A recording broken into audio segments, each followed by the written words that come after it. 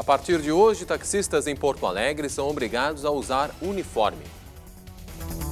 EPTC poderá multar motoristas que não cumprirem lei aprovada no dia 13 de maio.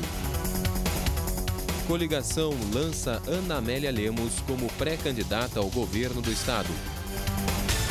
Troca de figurinhas é uma tarefa séria para jovens e adultos.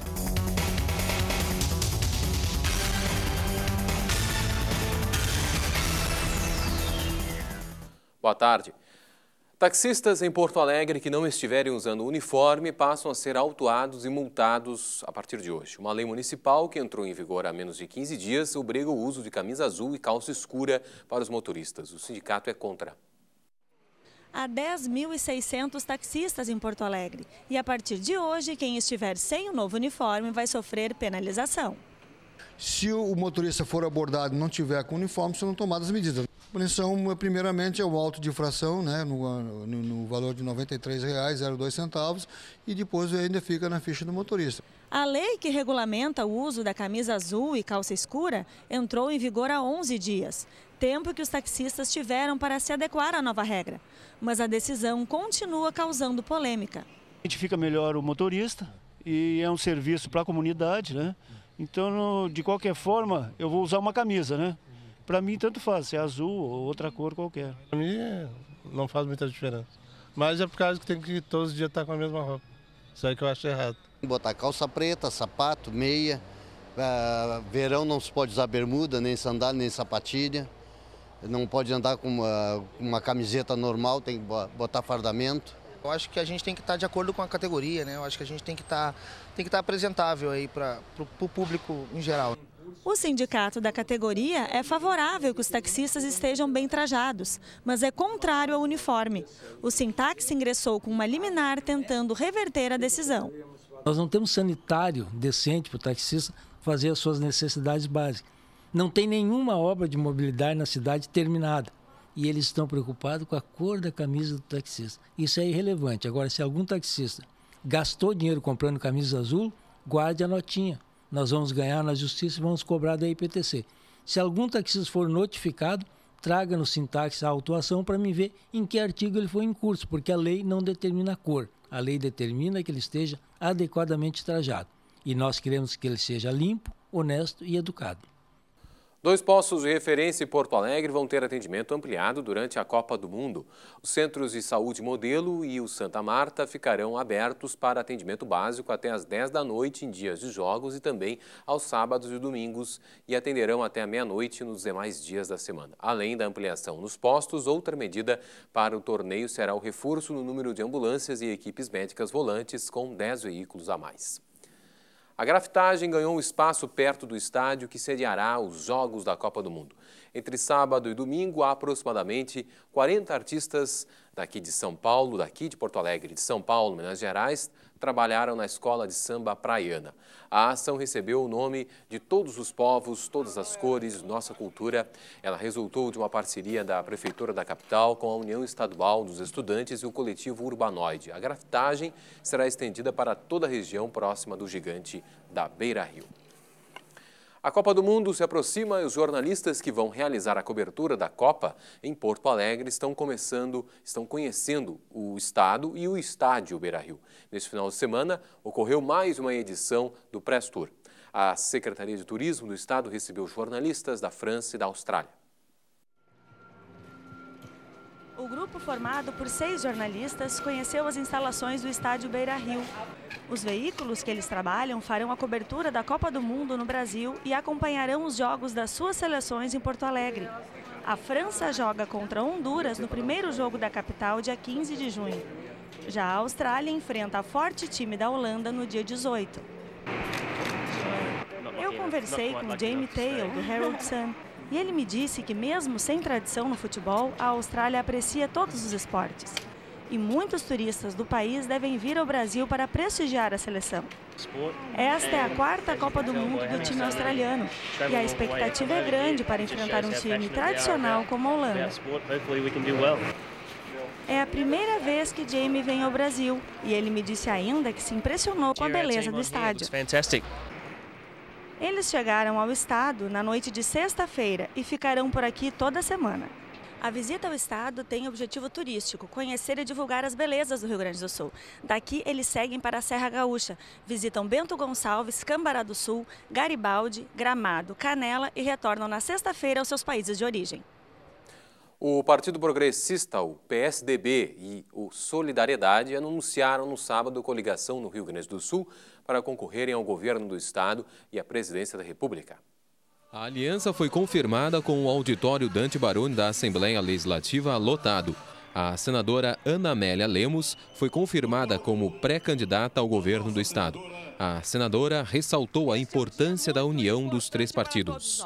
Uma forma mais comprometida com a sociedade gaúcha um governo cuja governança vai olhar para a sociedade e não ser patrimônio de um partido político como é hoje. Os nossos partidos estão governando numa convergência e não numa conveniência. E é por isso que nós estamos juntos, PSDB, PP e Solidariedade. É essa forma de governar que nós queremos introduzir, uma forma que atenda os anseios da sociedade, que foi para a rua dizer que não está satisfeita com as coisas que estão acontecendo no país.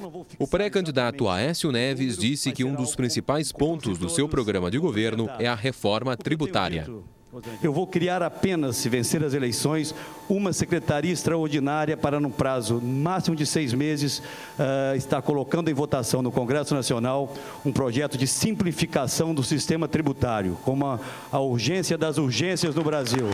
Nós vamos decretar guerra absoluta ao custo Brasil, seja uh, num choque de infraestrutura, seja na simplificação no primeiro momento, para depois avançar na busca da redução da carga tributária e resgatarmos a competitividade de quem produz no Brasil.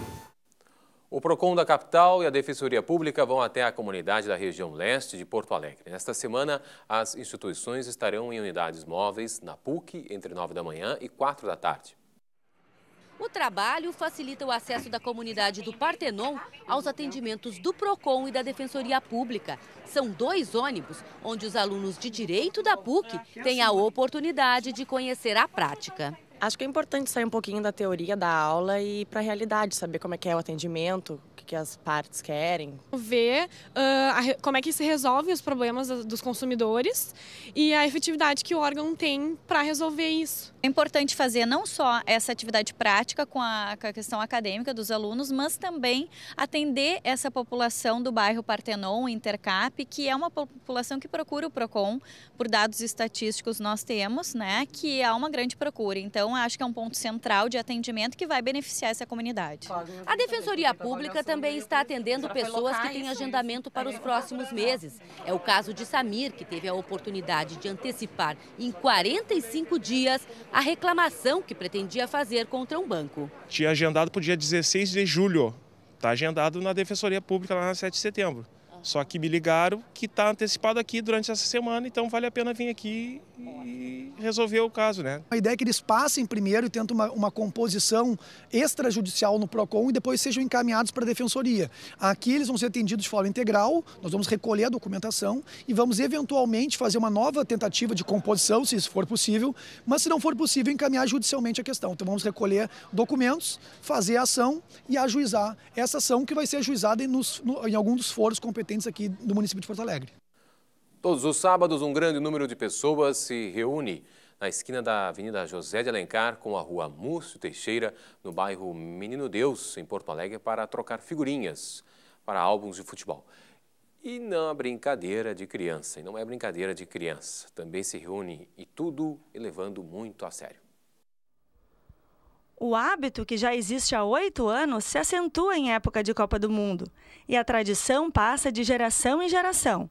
O pequeno Bernardo Guarda tem apenas quatro anos e já se diverte, assim como seu Darcy, que coleciona desde a Copa de 1970. A diferença é que naquele tempo a gente comprava a revista Placar, recortava e colava no álbum. E agora ela já vem pronta para colar, né? Só essa é a diferença, facilita mais. Quando nossa equipe chegou, encontrou o Júlio César. Ele iniciou sua coleção neste mês. Há três semanas começou a frequentar aqui, quando faltavam ainda 180 imagens. Neste sábado, ele procurava apenas mais seis para completar o álbum, até faltar apenas uma, a número 3. Uma coisa assim que mexe com desde as crianças até os idosos, não adianta, é muito legal. A correria atrás das, das figurinhas, a, a compra, a vontade de chegar em casa, o caderno, o riscar, é muito show de bola. E figurinha não é só coisa de menino, não. A Maria Luísa, de 8 anos, está completando seu primeiro álbum em 2014. Ela ganhou dos amigos porque adora futebol. Quantas figurinhas faltam no teu álbum? Ah, umas 100, cento e poucas por aí. Quanto tempo tu começou a colecionar? Ah, faz uns três, umas três, quatro semanas. E quem é apaixonado pelo hobby é o seu Antônio Carlos. Sem falsa modéstia, se considera o maior colecionador de Porto Alegre. Colecionador de álbuns de figurinha de futebol desde 1953. Eu, quando eu tinha nove anos, o primeiro álbum de figurinha de futebol foi logo após a Copa de 50, eu colecionei e fechei o álbum. Então é um hobby que eu tenho. Para vocês terem uma ideia, o meu álbum de figurinha de 1953, que tinha o time do Renner, do Cruzeiro de Porto Alegre, que nem existe mais, do Internacional, do Grêmio, dos jogadores da Copa de 50, a internet já me ofereceram 10 mil reais pelo álbum, mas eu não vendo. E dá uma dica. Que eles façam aqui um álbum só do Internacional e um só do Grêmio com todos os jogadores da história. Desde lá da década de 40, dá para fazer 600 figurinhas que vai vender que nem água. Seguir você fica com o programa Estação Cultura, mais informações à tarde no TVE Notícias e depois no Jornal da TVE, segunda edição às sete e meia da noite. Voltamos amanhã ao meio-dia e trinta. Até lá.